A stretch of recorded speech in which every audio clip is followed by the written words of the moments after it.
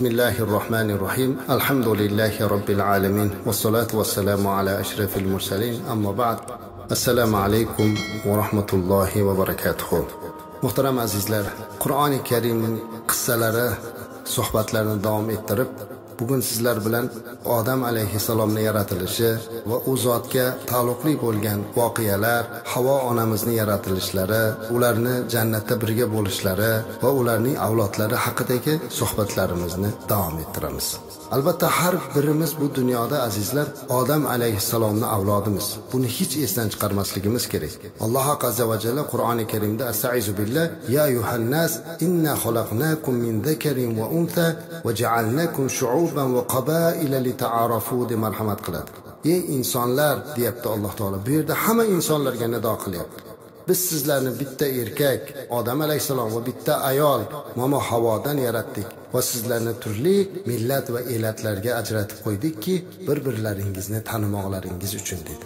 Mana shu oyatga muvofiq biz hammamiz bir zotni odam alayhissalomning farzandlarimiz.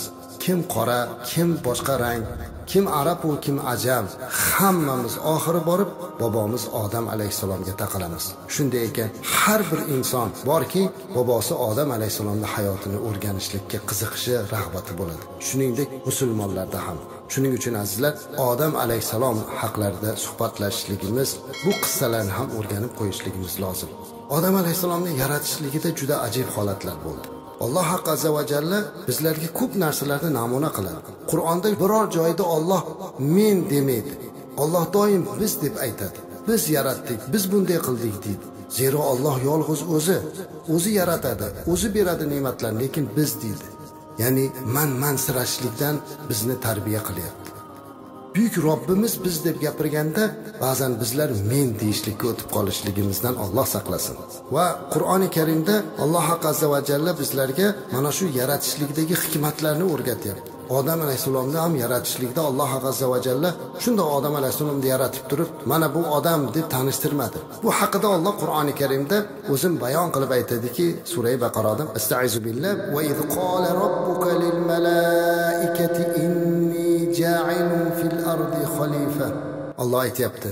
Eslang ey Muhammad sallallohu alayhi vasallam vaqtiki Robbingiz Alloh azza va jalla farishtalarga qarab men yer yuzida bir xalifa yaratmoqchiman. Xalifa so'zi tarjima qilinganda o'rin bosar degan ma'no chiqadi. Juda katta maqom azizlar. O'rin bosar.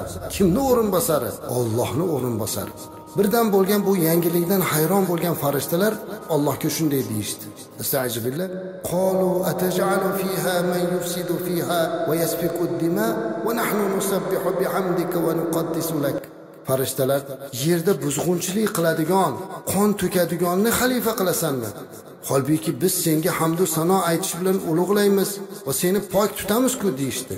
Shunda robbimiz alloh azza va jalla farishtalarga qarab inni a'lamu ma la men sizlar bilmagan narsani bilaman dedi haqiqatda Alloh o'zi bilguvchidir, olimdir va bu haqiqat edi. Odam alayhissalomni Alloh azza va jalla yaratishlikdagi bo'layotgan haqiqatini o'zi bilardi. Farishtalar qayerdan bildi? Nima uchun bular yer yuzida insonni qon to'kadi deb o'yladi? Endi ba'zi bir mufassirlarda bu odam alayhissalomdan ham oldin ba'zi xalqlar yaratilgan, ular mana shu ishni qilgan degan fikrlarni bildirganlar ham bor. odamni azizlar tuproqdan yaratdi deb aytamiz.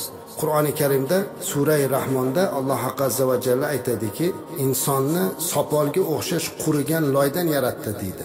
Rahmon surasida. Mana shu sopol degan so'zni solsol deb keltiradi. Solsol degani bu qurigan loy ekanida ursa ovoz chiqadigan bir sopolga o'xshagan. Ajib hikmat azizlar.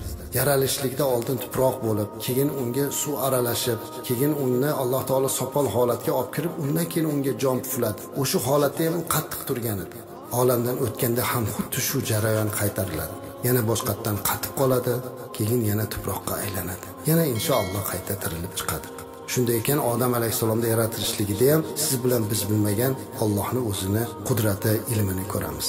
Va buni hozirgi dunyoviy ulamolar ham bundan haqiqatni ko'rib turishibdi. Chunki avvallari buni bilmagan bo'lsa hozirga kelib azizlar insonlar tuproqdagi kimyoviy moddalarni miqdorlarini o'lchab chiqishganda yigirmadan ortiq tuproqda kimyoviy moddalar borligi bilindi. Unda temir bor gugurt bor karbonat bor kislorod bor mis bor alyumin bor kalsiy bor va hokazolar. Xuddi shu kimyoviy elementlar insonni tanasida ham bor ekan. Mana shu insonni tuproqdan yaralganligini isboti ekan.